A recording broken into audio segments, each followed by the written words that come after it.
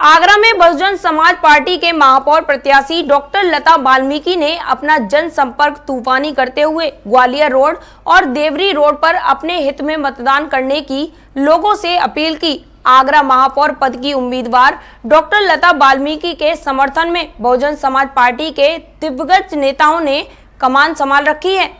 बसपा प्रत्याशी ने अपना चुनावी संग्राम तेज कर दिया है। रविवार को सुबह बसपा प्रत्याशी डॉक्टर लता वाल्मीकि दल बल के साथ ग्वालियर रोड और देवी रोड स्थित अपना प्रचार प्रसार करने पहुँची।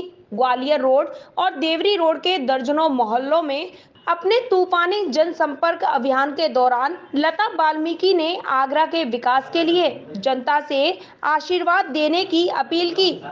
तो वहीं पर बसपा से आगरा ग्रामीण विधानसभा में विधायक प्रत्याशी रही किरण केसरी ने भाजपा प्रत्याशी हेमलता दिवाकर पर तंज कसते हुए कहा कि जिस प्रकार से उनके विधायक रहते, लोगों को उनके लापता होने के पोस्टर लगाने पड़े। यदि वह जीती तो शहर की जनता को भी उनके लापता होने के पोस्टर लगाने पड़ेंगे।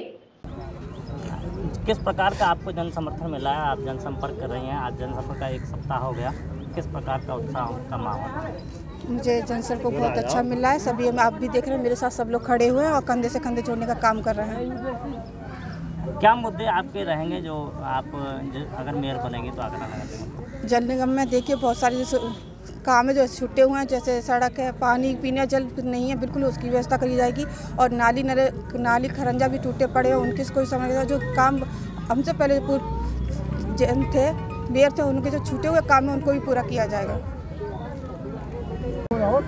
आप महापौर के प्रत्याशी हैं लता वाल्मीकि, उनके साथ में जनसंपर्क कर रहे हैं कंधे मिला करके किस प्रकार का उत्साह जनता में देखने को मिल रहा है? देखिए, जनता में आप सब देख सकते हैं कि कितना जोश और जुनून है और उत्साह है और एक नया, ये आगरा एक नया इतिहास रचने जा रहा है कि यहाँ पर पहली बार बसपा पूर्ण बहुमत के साथ में और बहुत ज़बरदस्त बहुमत के साथ में अपना नया मेयर प्रत्याशी चुनने जा रही है। जैसा कि आप देख रहे हैं कि जनता पूरी परेशान है। आए दिन आपने अखबारों में खबरें देखी होंगी कि महिलाएँ बाल्टी और मटके लेकर के सड़कों पर प्रदर्शन करती हैं क्योंकि उनके लिए पीने के लिए पानी नहीं है और एक दिन नहीं, दो दो, तीन दिन दिन पानी नहीं आ रहा है। अगर पानी आ भी रहा है तो वो पीने लायक नहीं है। गलियों का हाल आपने अभी देखा होगा कि किस तरह का है कि वहाँ से निकला भी नहीं जा रहा है। पूर्व जो मेयर थे, पता नहीं उन्होंने कौन कौन से काम किए। ये स्मार्ट सिटी बनाना था, लेकिन यहाँ ये नवीन सिटी तो नज़र आता है। नवीन सिटी तो क्योंकि वो नवीन थे, क्योंकि वो नवीन जैन थे, लेकिन ये स्मार्ट सिटी कहीं नज़र नहीं आता है। तो पता नहीं कि स्मार्ट सिटी बनाने के नाम पर उन्होंने ये नवीन सिटी बना दिया है। सिर्फ़ उन्होंने अपने नाम का प्रचार किया है, लोगों का भला नहीं किया है, कहीं विकास नहीं किया है, कोई खरंजा, कोई नाली यहाँ नहीं बनवाया है। लाइटों की व्यवस्था देख रहे हैं कि खंभे तो लगे हुए हैं, लेकिन खम्भों पर लाइट नहीं है।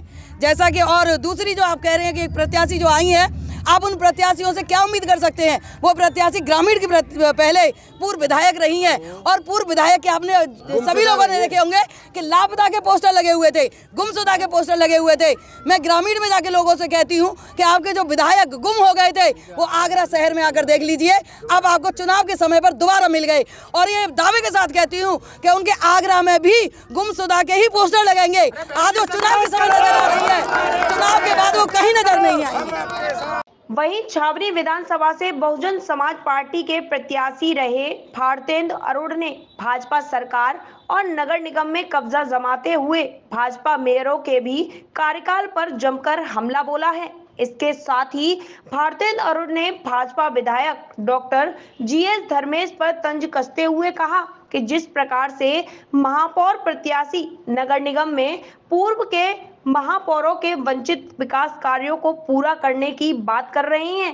वहीं पर डॉक्टर धर्मेश ने कमीशन लेने के लिए अधिकारियों पर आरोप लगाए लेकिन किसी ने उनके आरोपों की जाँच तक नहीं की। क्या महापौर प्रत्याशी उसी भ्रष्टाचार को आगे बढ़ाने का काम करेंगे? अर्जुन जी किस प्रकार का प्रचार चल रहा है और क्या लोगों का जो है उत्साह मिल है? बहुजन समाज पार्टी के नेता परमादड़ी बहन कुमारी मायावती जी का बहुत बहुत आभार प्रकट करते हुए उन्होंने प्रथम बार एक वाल्मीकि समाज की महिला, पढ़ी लिखी महिला को प्रत्याशी बना करके हमारे बीच में भेजा है और इनको भरपूर जन जन समर्थन मिल रहा है।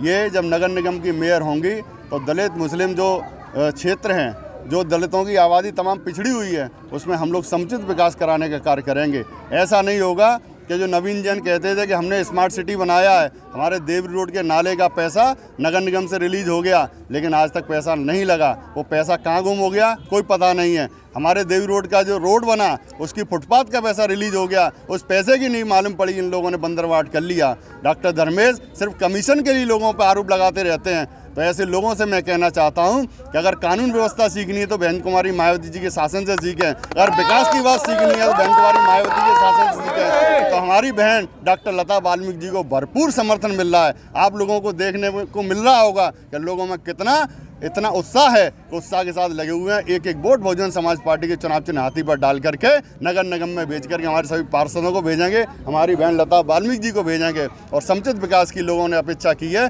उस पर हम लोग खड़े उतरेंगे। जय भीम। आपके राजनीतिक विरोधी ये प्रचार कर रहे हैं कि जाटो समाज वाल्मीकि प्रत्याशी को मतदान नहीं करेगा क्योंकि वो अपने राजनीतिक राजनीति में वो लोग आरोप लगाते रहते हैं लेकिन इन आरोपों से कुछ नहीं होने वाला है। इस बार दलित मुस्लिम और हमारे जाटव और वाल्मीकि समाज के लोग एक मुस्त होकर के बहुजन समाज पार्टी के पक्ष में लामबंद हैं। जितने भी हमारे जो अध्यक्ष हैं, चौधरी पंच हैं वाल्मीकि समाज के, वो वो लोग अपनी अपनी गाड़ियाँ लेकर के बहन जी से भी नहीं मिल रहे हैं। वो अपने क्षेत्रों में लगे हुए लोगों को समझा रहे हैं और किसी के बहकावे में ना आने की सलाह दे रहे हैं। प्रातः दर्पण न्यूज़ के लिए आगरा से चंदन सिंह की रिपोर्ट।